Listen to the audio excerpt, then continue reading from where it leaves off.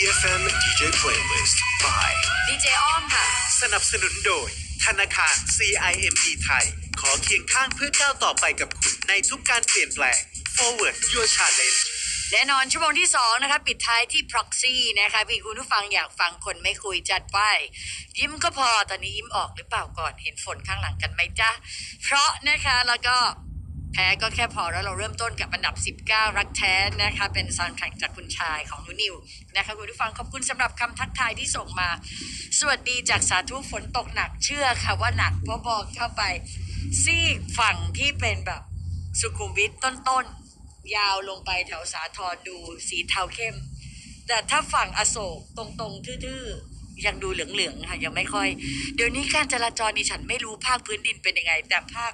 ภาคอากาศดูตามสีฟ้าค่ะ สีเหลืองอ่อนๆ สีเทาจางๆ สีเทาเข้มๆ หรือเข้มจนขาวนั่นแปลว่าหนักมาก รังสิตฟ้าเปิดครับ ยินดีด้วยเวลาฟ้าเปิดเราก็เปิดรับฟ้ากันไปเลยคุณผู้ฟัง และที่ชั่วโมงที่แล้วคุยกันว่าถ้าให้คุณพูดมาสักคำหนึ่งคุณรู้สึกความแทนความรู้สึกคุณ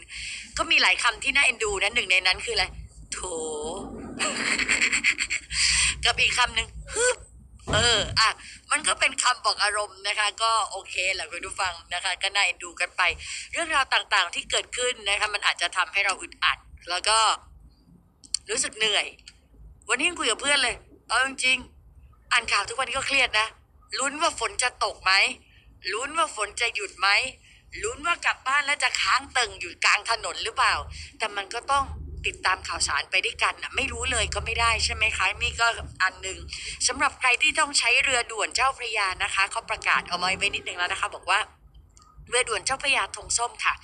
ขยายระยะเวลางดเข้าจอดรับส่งที่ท่าสะพานกรุงทนหรือที่เราเรียกว่าสังคีเนี่ยนะคะ ไปจนถึง 30 ตุลานะคะ เนื่องจากระดับน้ำสูงขึ้น ไม่แผ่วเลยน้ำฝนตกเพิ่มอีก น้ำไม่แผ่ว ไม่แผ่วขนาดว่าเอาจริง ตอนนี้นะคะถ้าเกิดว่าอัปเดตไประดับน้ำเจ้าพระยาเนี่ยล้นตลิ่งเขาบอกว่า 9 สถานีวัดบางบานที่อยุธยาหนักสุดเอ่อถึง 3.4 เมตรแล้วนะคะคุณผู้ฟังชาวบางบานนี่ก็น่าห่วง เพราะว่าเอาจริงๆอยุธยาเนี่ยก็ก็รับน้ำอะจริง ๆ มันไม่ใช่เขาเรียกอะไรอะมันก็คงต้องมีจังหวะไหนผ่อนน้ำผ่อนอะไรแล้วตามเขาเรียกว่าอะไรนะภูมิศาสตร์อะไรอย่างเงี้ยการไหลการมาของน้ำของ จังหวะใด ๆ ก็ตามแล้วเมื่อไหร่เราจะถอดบทเรียนกันได้ ว่าเฮ้ยเราจะได้มีคำพูดว่า ไม่ต้องห่วงฝนมาขนาดนี้จากที่เราเคยเตรียมตัวตั้งแต่ที่เราเจอมาปี 54 หรือปี 65 ตอนนี้เรามีมาตรการอะไรบ้าง สมมติปีหน้านะ ต่อให้มาหนักขนาดนี้ก็จะไม่เป็นอย่างนี้เพราะ 1 2 3 4 ไม่ใช่ว่าจะต้องลุ้นกันไปเรื่อยๆในการร้องขอในใจว่าสิ่งศักดิ์สิทธิ์อย่าให้ท่วมบ้านลูกเอ้ยอย่างเงี้ยมันไม่ใช่ เพราะว่าได้ถ้าในในฐานะที่เราเป็นเมืองพุทธซะส่วนใหญ่คนพุทธซะเยอะทางวิถีพุทธเนี่ยมันควรจะทำเหตุให้ถึงพร้อมนะคะ ก็คือแก้ไขดูที่ข้อที่ผิดพลาดหรือข้อที่จะต้องป้องกัน และทำตรงนั้น ซึ่งอย่ามาบอกว่าอ้อมไปทำเองสิอ้อมอ้อมไม่ทำค่ะอ้อมเป็นประชาชนอ้อมทำไม่ได้อ้อมเสียภาษี เพราะฉะนั้นรบกวนใครก็ได้ช่วยเอาองค์ความรู้ที่มีไปหารือกันหน่อย เพราะว่าชาวบ้านที่โดนไม่ว่าจังหวัดอะไรก็แล้ว แต่เขาไม่จำเป็นต้องอยู่ด้วยความเคยชินนะคะ ว่ายังไม่ชินอีกเหรอ ไม่ควรไปถามเขาคำนี้ว่าไม่ชินอีกเหรอท่วมทุกปี บ้านแกท่วมแกชินไหมล่ะ แกก็คงไม่อยากชินกับอะไรแบบนี้ไหม เขาไม่จำเป็นต้องชินเว้ย เอาจริงอย่าได้ไปถามเขาว่า เฮ้ยยายไม่ชินอีกเหรอประสอกใส่หน้าเลยที่ถ้าเป็นญาติแล้วดีดหูเลยในะคนถามเนี่ย มันเราไม่ต้องชินกับของไม่ดี หรือว่าของที่มันไม่ใช่ แต่ไม่ได้แปลว่าเขายอมรับไม่ได้ อ้อมเชื่อว่าคนที่อยู่กับความทุกข์เป็นถึงที่สุดเขาจะยอมรับได้ว่าที่สุดแล้วเขาจะเจอกับอะไร แต่ก่อนที่เขาจะต้องเจอได้มีการ ปกป้องดูแลป้องกันเตรียมภัยแบบป้องกันภัยกันให้เต็มที่หรือเปล่า อันนั้นก็ในหลาย ๆ เรื่องนะคะเราก็จะเป็นอย่างนั้น ซึ่งทางฝั่งของปทุมธานีค่ะนายกอบจเขาก็บอกว่าทางเขาเนี่ยก็ไม่ประมาทแต่ก็ก็ก็ต้องขอให้ผ่าน 20 ไปให้ได้อะขอให้ผ่าน 20 ตุลาแล้วนี่มันคือ 12 ส่วนคลองลังสิตตอนนี้ยังพอป้องกันได้อยู่ แต่ก็ไม่มั่นใจเพราะกลัวว่าทางเขื่อนป่าสักจะปล่อยออกมามากเกินไป ถ้าจะปล่อยยังไงรบกวนแจ้งให้ทราบด้วยนะคะ เพราะว่าคันกั้นน้ำสิงห์บุรีมีข่าวนึงอีก ผู้ว่าก็ลงพื้นที่ประกาศให้ชาวบ้านรีบยกของขึ้น สิงห์บุรีก็ขึ้นไปนิดๆเพราะฉะนั้น ทั้งอิฉันนี่ก็ได้แต่ส่งใจเป็นห่วงแล้วก็ส่งถุงไปนะคะ อุบลเนี่ยจากรุ่นน้องอ้อมจะขึ้นวันเสาร์กลายเป็นกลายมาต้องขึ้นตั้งแต่พรุ่งนี้แล้วคุณผู้ฟังเพราะเขาก็ไม่แน่ใจว่า ทางถนนที่จะขึ้นเนี่ยมันจะมีน้ำขึ้นจนต้องปิดถนนจนอะไรหรือเปล่า เพราะฉะนั้นเช็คให้ดีๆ คุณจะบินไปไหน ก็เช็คด้วยนะคะคุณผู้ฟังในขณะที่บางคนก็เขตกรุงเทพเขาบอกว่าเขตนอกคันกั้นน้ำ7เขต 14 ชุมชน ใช่ไหมไม่ว่าจะเป็นดุสิตพระนครสัมพันธวงศ์บางคอแหลม ยานนาวาบางกอกน้อยคลองสาร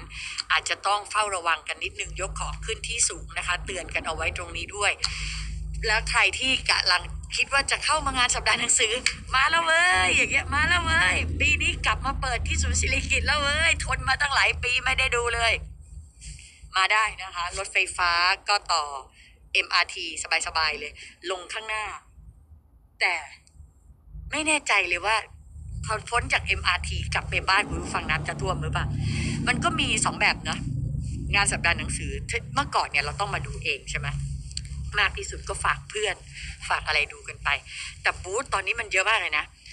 แล้วเดี๋ยวนี้ก็เราก็มีวิวัฒนาการของอาชีพคุณผู้ฟังคุณผู้ฟังหลายคนคงทราบนะก็คือถ้าไม่ไปเดินเองก็มีฝากหิ้วถูกไหมคะเขาจะมีคนรับหิ้วซึ่งเวลาจะรับหิ้วคุณผู้ฟังอันนี้ก็แจ้งให้ทราบก่อนดูให้ดีนะคะ ว่าเงื่อนไขของแต่ละคนที่รับหิ้วมันก็แบ่งเป็นสองอันใหญ่ ๆ เลยนะ รับหิ้วราคาตามหน้าปก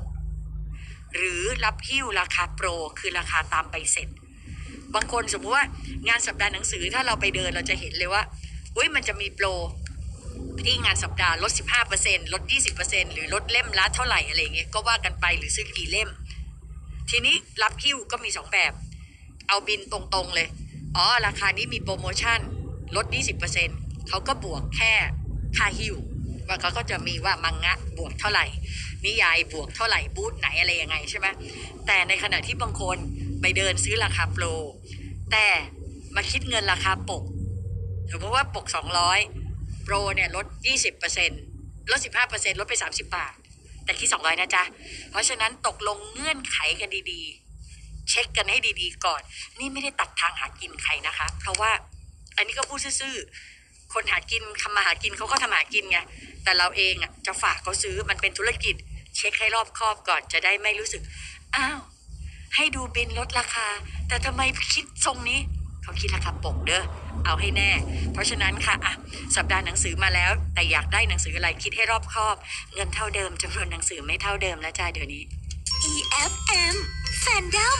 Live อืมร่วมส่งความฟินโดย สินเชื่อบุคคล ธนาคาร CIMB ไทยสำหรับคนมีเครดิต อะ เพลินๆกับสัปดาห์หนังสือ แล้วก็กลับมามีความสุขด้วยกันคืนวันศุกร์กับแฟนดอมของเรานะคะกับแอลลี่ค่ะคุณผู้ฟัง น้องจะมาตั้งแต่สองทุ่มครึ่ง แล้วคุณผู้ฟังสามารถโทรมาคุยกับน้องได้ตั้งแต่สามทุ่มเป็นต้นไป 0 2 6 6 5 8 3 7 3 นะคะ เรามาส่งความฟินไปด้วยกันสำหรับสุขนี้กับสินเชื่อบุคคลธนาคาร CIMB ไทยสำหรับคนมีเครดิตแอดไลน์เลย at CIMB Personal Loan นะคะ